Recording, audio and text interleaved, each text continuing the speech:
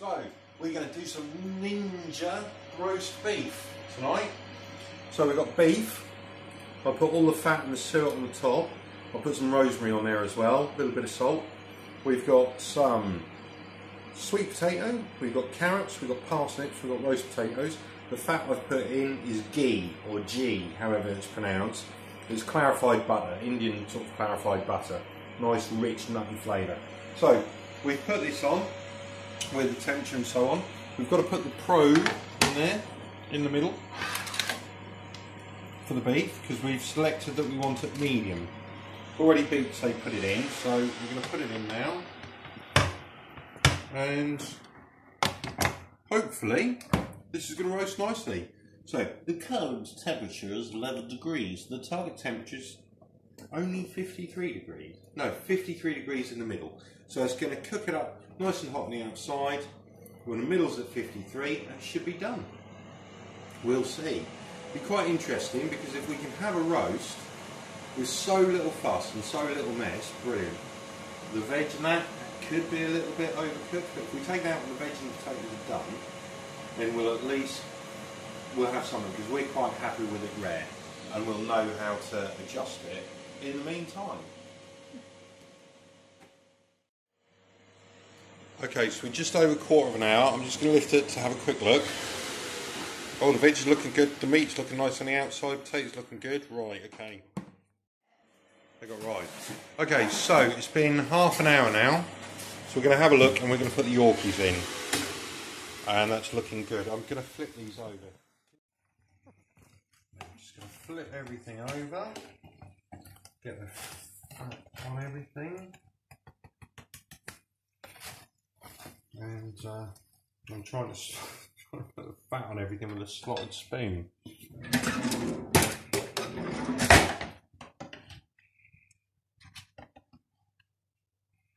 Oh, I can't tilt it like I No. like I would a, a normal. Actually, I can. No, don't. No, it won't. You have to lift it right out. You can't tilt it very easily Do you not? I'll because it's deep. Okay, so I can tilt it slightly to get my my juices flowing, as it were. Not as much as normal. I can't angle it as much as normal, but at least I can do it a little bit. So we can baste our veg. I'm losing all the heat, but this will take less time to heat up again than a normal oven, so that's not too bad. Put some over the top there. It's actually looking really good. I'm really impressed. Smells amazing. I think we're on a winner here for for a nice sort of like evening roast. You know, you don't have to wait till the weekend. You can do it any night of the week with this. Do roast for one, roast for two. So there we go. We stick the stick the uh, home bought Aunt Bessie's in. How, how long do they normally take? I was now saying to flip the beef, No, but we don't need to. no, I wouldn't. No, we don't need to. It's not. It's That's not optional. So, The Yorkies normally take about four or five minutes. So is that all the oven from frozen? That's what I just said, yeah. Okay, well we'll Oh no, no, sorry, no, twelve minutes. Those ones. Okay. We've now been 45 minutes. We're one degree off our setting for rare. Look, 45 minutes. There we go, and our roast is ready, and that's including me open to film. So how does that look? That looks good, actually. Um, maybe should have put the roast, uh, the Yorkshires in a few minutes before, but because they look a little bit pale, they're starting to start seeing. But they're, they're all right. They're acceptable. Potatoes look good. Veg looks good. We're going to leave that there to to rest. So it says resting. So it's counting. Oh, it's got to rest now. Oh, Smells good. smells really good. I mean, I'm not too fussed about the Yorkshire puddings. I mean, they weren't proper Yorkshire puddings, so it's not massively relevant as a test. No, but it adds to it. The only thing we've had to make separately is the gravy, which is quite normal. So yeah, let's let's, uh, let's do you reckon? await it. Okay, so here we are. So the fat, suet, dripping, what have you, that's rendered down nicely and all dripped off.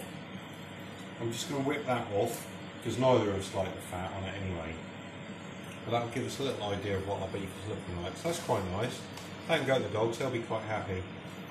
So, let us slice into it. We've gone for medium.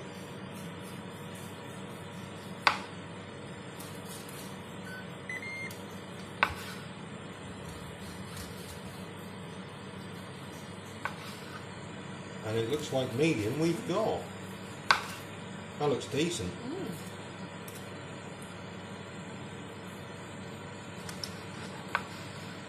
That's how I like it. It's really good. Yeah, really I like my red. That'll be lovely That for cold really cuts as good. well. It's really good in a beef and piccalilli or beef and horseradish sandwich. Yeah, That that looks good. looks like a really good bit of roast beef. Now I'm going to have a little taste. Bit from the outside.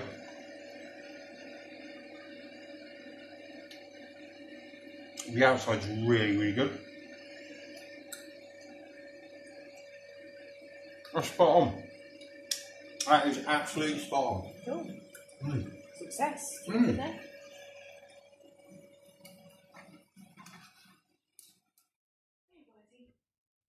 Look at that. That is a 45 minute one pot roast. And it like, looks amazing. Look at the blood that's come out of that. We've selected rare, so it, sorry, we've selected medium, so it's nice and red inside. We've got plenty of blood. We haven't let it rest, which would let the blood soak into it. That's because we're hungry. We don't want to let it rest. But that is looking perfect, and the flavour of the beef is spot on.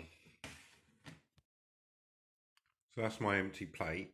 I've got to be honest, as dismissive as I could have been with the ninja, I haven't been.